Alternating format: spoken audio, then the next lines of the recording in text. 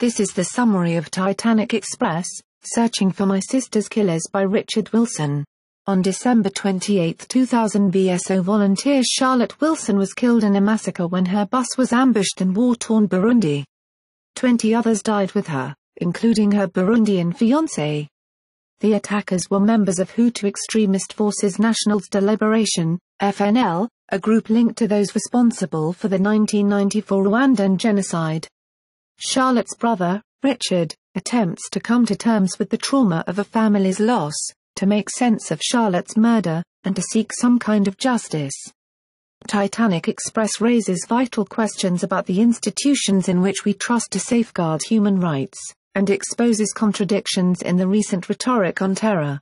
For more history books and book reviews visit www.historybookmix.com.